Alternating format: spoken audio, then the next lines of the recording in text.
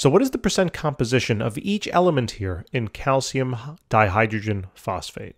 Well, first thing we got to do is first find the mass. So let's use this table to help us out. Bam! So the first thing we have to do is identify the various elements in this compound. So I see I have an element of calcium, I have hydrogen, I have phosphorus, and I have oxygen. So you're basically just labeling the letters, all right, or the elements essentially that you see.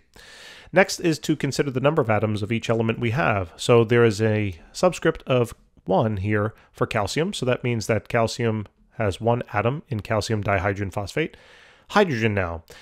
Uh, in dihydrogen phosphate here, there are two hydrogens, but you don't have one dihydrogen phosphate, you have two of them and therefore there would be four hydrogens in total. You take the subscript here of hydrogen and multiply it by the outside subscript, all right, for the dihydrogen phosphate. So that means there is four. Same thing with phosphorus, the subscript is one, but then you have to multiply it by two, so there's two phosphorus. And then for oxygen, same thing, there's four oxygen here in dihydrogen phosphate, but then you have two dihydrogen phosphates, so therefore you got to multiply that by two, so that's a total of eight. Now all we're simply going to do is then multiply these number of atoms by the mass of each particular element, and guess where we look for the masses? Yes, the periodic table. So let's take a look. Here is the mass of calcium, 40.08, hydrogen is 1.01, phosphorus is 30.97, and oxygen is 16. And these are now going to get written down. Now, they will represent grams per mole if you're talking about molar mass, or AMU if you're talking about molecular mass. All right, so let's write it on down.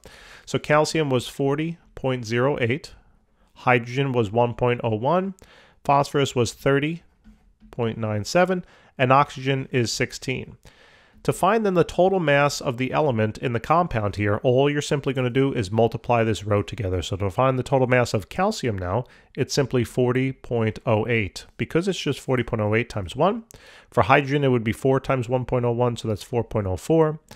Here, we're going to multiply uh, 30.97 by 2, right? So that's 61.94. And then we have 8 oxygens, so we're going to multiply that on out, so that's about 128. And then to find the total mass now of the entire compound down here, all you have to simply do, add this column together. That's it. So when you do that, it comes out to be about 234, 234.06. So now we got the first step completed. So now we have the mass, the total mass of calcium dihydrogen phosphate. Now what we can do is we can now simply find the mass percents of each of these elements now in the chemical formula. All I'm going to simply do now is add another column and it'll be nice and straightforward. Bam. So now all we're going to do is we're simply going to take the total mass of a particular element. So here, like for calcium, we're going to take that total mass of calcium, 40.08, and then we're going to divide it then by the total mass of the compound of 234.06. All right. And since, like I said, it doesn't really matter if you're dealing with molar mass, you know, gram per mole here, basically for molar mass or AMU, it, the magnitude of the numbers uh, will be uh, what is important. So when we do the math here, and remember this is just a simple percent, part over whole times 100, right? So now when we do this out, we're going to come up to, or come out to a percentage of roughly 17.12. So that's the percent of calcium in calcium dihydrogen phosphate. For hydrogen then, you take the total mass of the hydrogen, 4.04. Do not take its simple molecular mass or its molar mass. You got to take the total, so it's this column then it's going to be 200, divide that by 234.06, multiply that by 100, and we're going to have a percent here of about 1.73. All right, so I'm, I'm rounding there to two decimal places, basically. Uh, same thing for phosphorus, 61.94 divided by the total mass of the entire compound, 234, right, 0.06. You see how routine this becomes? And then that's going to work out to be about 26.46%. Last but not least, we got to do the same thing for our oxygen.